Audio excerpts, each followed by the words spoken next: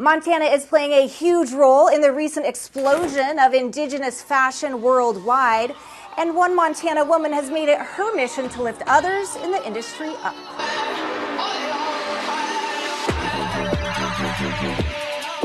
Worldwide success on the runway from New York to Paris Fashion Week for many indigenous designers can be traced right back to Cora Chandler, an Aani and Cree entrepreneur originally from Fort Belknap, the founder and producer of Big Sky Indigifest in Billings. We want to provide a festival feel for our indigenous people to come together and showcase their artwork. Much of the art showcased on the runway on 150 models via handmade cultural couture and ready to wear fashion lines. I started three years ago at this particular show. This show was the opportunity to start and launch my my business. Since that first show, it's been a pretty amazing journey.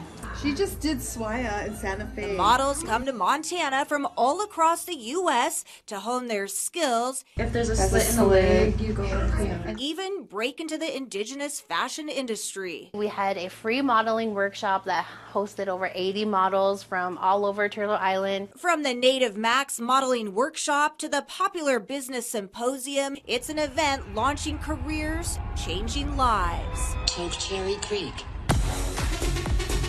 a lot of our indigenous youth are coming up and starting their new lines. Devonte Whiteman is going to be launching his first line here at the show and we also have senior designers and so we're providing that mentorship type and really wanting to you know open the doors and showcase all the work that we can do in Indie Country.